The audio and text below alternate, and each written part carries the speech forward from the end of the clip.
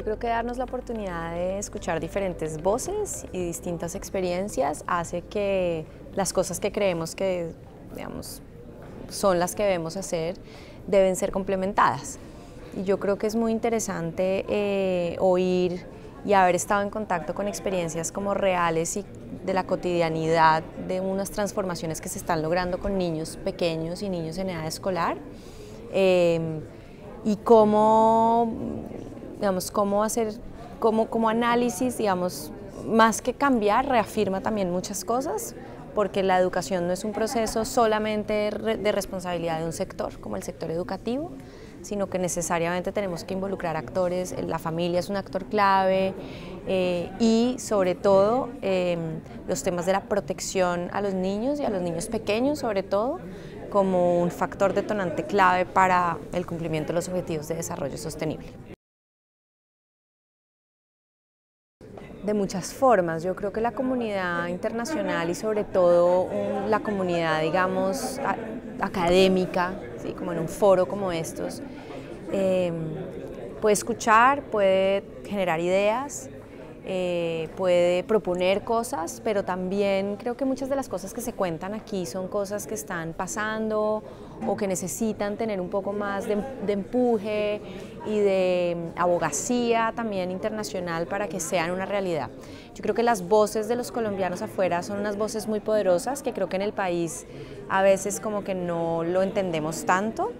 Eh, y yo creo que este tipo de espacios tienen que seguir pasando, tenemos que seguir encontrándonos por fuera, eh, generar ideas innovadoras, eh, tejer redes fuertes alrededor de temas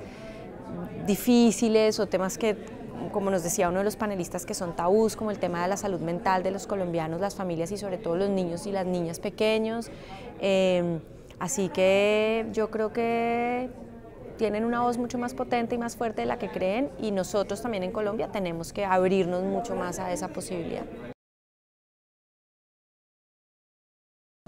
Pues lo que he estado me realmente me encantó cómo organizaron ustedes el, keynote speaker como el presidente Santos, el expresidente Santos, con una visión muy completa frente a cómo va el país en cada uno de, las, de los objetivos y luego el complemento con el presidente del Banco, del Banco de Colombia, que es una mirada absolutamente distinta desde el sector privado, productivo y económico, de, de una manera tan perfectamente complementaria que hace que ese argumento con el que se arranca la conferencia realmente nos haga reflexionar como público asistente, decir, la tarea va bien, pero realmente tenemos mucho por hacer, mucho que aportar desde los diferentes sectores y los diferentes sombreros que tengamos puestos. Em, entonces, pues, felicitaciones. Creo que lo que más me ha gustado en realidad es como el contenido de lo que he visto hasta ahora.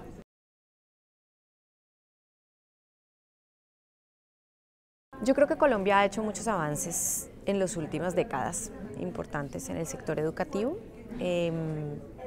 frente a temas de cobertura principalmente, aunque digamos todavía tenemos un reto muy grande y es que en el país existen más de 1.5 millones de niños, niñas y adolescentes por fuera del sistema educativo. Em, eso es un reto y eso es un número grande. ¿sí? Em, Yo creo que frente, digamos, como a la educación inclusiva, también tenemos muchos retos. Es difícil, por ejemplo, voy a pararme simplemente en los niños con alguna discapacidad los profesores de estos niños y estas niñas necesitan un contenido adicional, necesitan un acompañamiento técnico, necesitan un acompañamiento pedagógico específico también para poder lograr una inclusión real de estos niños en el sistema educativo y garantizar su trayectoria educativa. Ese es un ejemplo de muchos retos que tenemos. Estoy pensando en las metas específicas de la, de la meta o del objetivo número 4. En los temas de educación para la primera infancia, el país va bien, hemos avanzado, tenemos un marco de política holístico, integral, eh, que cobija a todos los niños. El reto grande es la implementación y el reto grande es la regulación de los servicios en Colombia y la calidad de los mismos, para saber con qué calidad estamos prestando estos servicios a estos niños, para realmente garantizar que todos los niños a 2030 cuenten con educación inicial y de preprimaria de calidad eh, y que estén, digamos, en los niveles de desarrollo adecuados para su edad. Entonces ahí vamos, vamos bien, pero tenemos un largo trecho.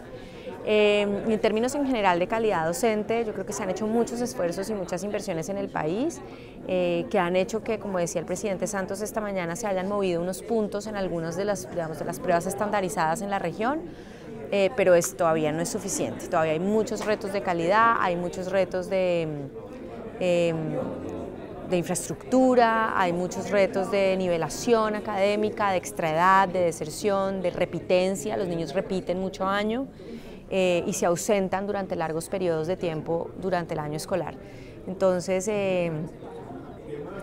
mucho por hacer, mucha inversión también por seguir haciendo en el sector, mucho acompañamiento docente y a los colegios en su día a día de organización escolar y de cómo están ellos acompañando los rectores y los profes en los aprendizajes de los niños.